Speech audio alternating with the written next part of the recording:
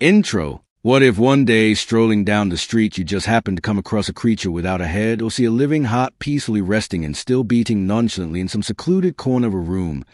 You might simply pass out from theatre or begin rubbing your eyes with all your might trying to rid yourself of these terrible visions. However, in fact, such a happenstance could occur in real life, as in this mysterious world of ours there are many instances where the life of an animal Continued long after what in most cases should have resulted in the death of the creature, some of these zombie creatures are served as exquisite gourmet dishes delicacies for the discriminating palate. For others, you could become their prey. Here will be presented a few stories that will simply astonish you, but in order not to frighten you too much from the start, I will begin with something a little more innocuous. Our first example, something called Odori Don know this, is not the name of some exotic animal, but a Japanese dish also known as a dancing squid. When you order this delicacy, a freshly prepared and of course already dead example of the sea creature will be served at your table. But what's so special about this, you may ask? The whole thing is served in soy sauce, which the dish absolutely relies on. Upon pouring the soy sauce over squid, he will immediately begin squirming and shimming, performing a real dance of death on the plate. This culinary miracle is actually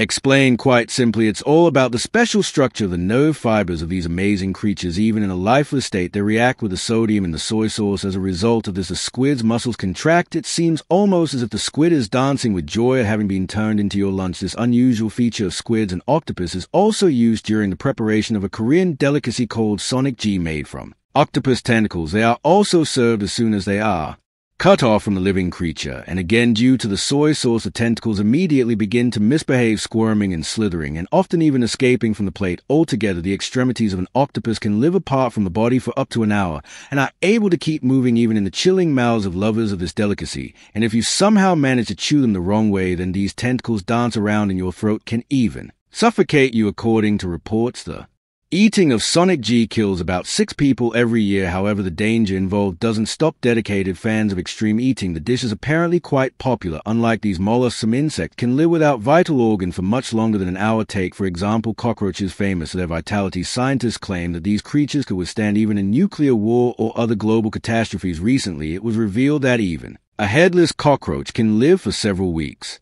This conclusion was arrived at by an entomologist named Christopher Tipping from Pennsylvania. The scientist very carefully under a microscope removed the head of several representatives of the American cockroach. After that, he covered the wounds with dental wax and left the experimental insect in a jar. When a few weeks later Mr. Tipping checked on the state of the cockroaches, they were still alive. The researcher explains this phenomenon by the fact that as the insects do not have a terribly Extensive network of blood vessels, the delivery of oxygen and nutrients to important organs in the absence of the head isn't a particularly vocal task. When the cockroach's head is cut off the blood vessel, clogging the vessels in the neck. As a result, no fatal bleeding occurs or the normally associated catastrophic decrease in blood pressure. It's also important that cockroaches breathe not through their mouth or nose like humans, but through special spiracles. Such holes are located in the lateral parts of the abdomen of these insects, and they are also not controlled by the bug's brains. A cockroach's diet also plays a role in their incredible vitality. One meal for an individual can be enough to last them for several weeks. Of course, the decapitation of cockroaches is not the most pleasant of diversions. However, according to scientists, such cruel experiments will help us shed light on the work of neurons in the bodies of these insects,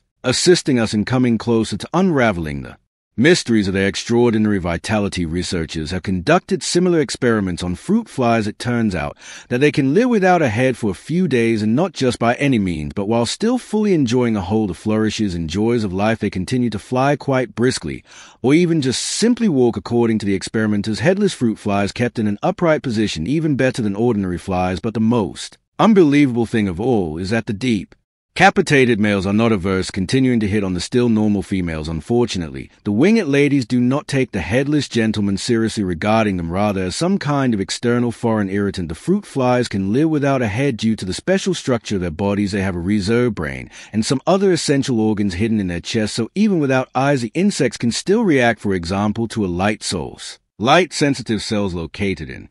Their kidneys continue to Help them see upon losing their heads. Sometimes even larger creatures such as toads can still live. One such incredibly freaky creature was found by a graduate student at the University of Massachusetts. One Miss Jill Fleming. Miss Fleming found this bizarre headless toad in a forest in the state of Connecticut. He had the normal toad body and arms and legs, but instead of a head, there was only a stump without eyes and nose, jaws, or tongue. Nevertheless, the amphibian actively moved about and even produced something similar to a croaking sound, this zombie toad had scientists dumbfounded and flabbergasted. Some have suggested that a genetic mutation is to blame. Jill Fleming herself believes that the toad lost his head as a result of some kind of accident. The graduate student also asked Twitter users to express their opinions after posting a video with a little headless wonder. Some suggested that hungry rats ate his head, others posited that a certain kind of fly might have laid eggs on or in the toad head, whereupon the carnivorous larvae emerge and ate the soft tissues of the poor amphibians. Something even more unbelievable happens in some other animals. Sometimes their organs can live by themselves after being withdrawn from the body. The turtle heart is especially famous for this property. If you remove the turtle heart from its chest, it can live on its own for another five days, all the while still beating. The secret is that the hearts of reptiles contain their own pacemaker. Cells they help this organ for a period of time to live uneven without a body attached to beating turtle heart songs, turtle decapitated, cockroaches, flies, and toads without heads. These are all harmless little horror stories, but among these seemingly innocent creatures in God's garden, they're real dangerous monsters when they can quite quickly and easily annihilate their prey. This is especially true, and we should be particularly fearful regarding those creatures that can bite or sting especially those that can inject a deadly poison into the body of their victim otherwise, as in the following case regarding a garden in the state of Texas, you might suddenly find yourself in your local hospital's intensive care ward, or even, God forbid, six feet under one day while digging in his garden. A man in Texas came across a rattlesnake without hesitation. He grabbed a shovel and cut off the reptile's head. He then bent down to throw the remains of the snake over the fence, and it was at this moment that the severed head chomped down on his hand. At the same time, she released all of her poison into his body, and not some small amount as with a normal rattlesnake bite. The unlucky gardener began to feel almost immediately his eyesight failed, and his internal organs began bleeding. The victim was immediately sent to a hospital where he received 26 doses of antivenom,